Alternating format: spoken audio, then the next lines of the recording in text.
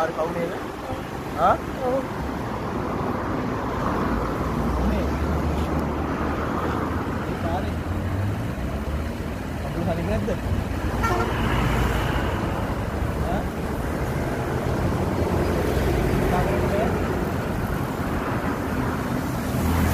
එයා අවුනේ ඉන්නේ. ආ? කාලා ඉන්නේ. ආ? කාලා ඉන්නේ.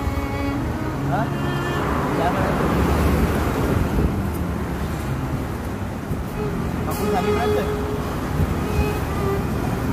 යන්න කියලා දෙන්න ගන්න. හා? යන්න කියලා දෙන්න. වතුර ගොඩ ඕනේ. යන්නේ බාද? වතුර ගන්න ඕනේ. වතුර ඕනේ. මම වතුර පොඩක් ගන්න ඉන්න කියලා. අත පුතේ බාද? මනිස් කෙනෙක් කියන්නද? මනිස් කෙනෙක් කියන්නද? පොඩි පොඩි කෑම එකක්. ආ. ඔතන ගෙවල් ළඟද? ගෙවල් ළඟද? ආ පාරි. අම්මෝ මින්න. ඊළ ගේන්න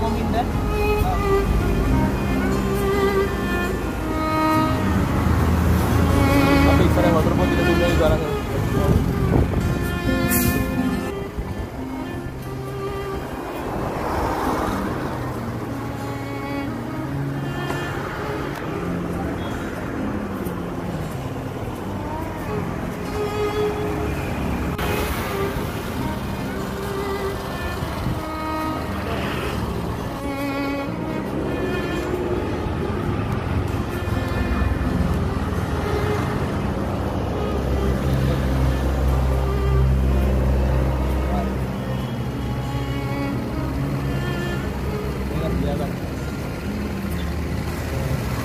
ඔය අවුවේ ඉන්න පාරට වෙලා. දෙවනකින් ඉන්නකො. දෙවනකින් ඉන්න. අවුවේ අමාරුනේ ඉන්න. මේ වෙලාවේ ලොකුට දෝ කරන්න බෑ. මුන්ති දෝවක් කරේ. ආ? අනේ දියන්ගේ පිට වේවාට. අරිස්සමකින් ඉන්න පොඩක් අයිනකින් දෙවනකින් ඉන්න හරිද? ඉස්සරහයි එනවා.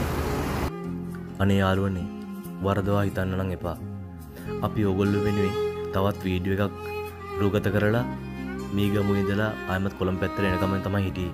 ඒ එනකමන් තමයි මේ අසරණ අම්මව පාරි දැක්කේ. කහහිරක් ගාවින් දනගාගෙන කකුල්ලොක තුවාලෙකුත් තියාගෙන පාරේ ඉන්නවා හිඟා කනවා ඉතින් රටේ තත්ත්වය කොහොම වෙතත් ඒ මිනිස්සු ගොඩක් දුක් විඳිනවා.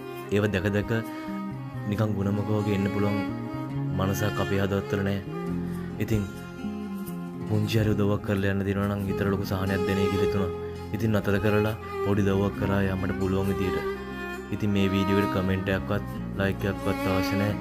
මේ වීඩියෝ එක බලලා ඔයගොල්ලොත් මේ අම්මට මේ ගමේ දැක්කොත් පාර්කෙ දැක්කොත් එහම උදව්වක් කරන්න කියලා ආදරණීය පුංචි ඉල්ලීමක් කරනවා. බුදු සරණයි ඔයගොල්ලෝ ඔක්කොටම.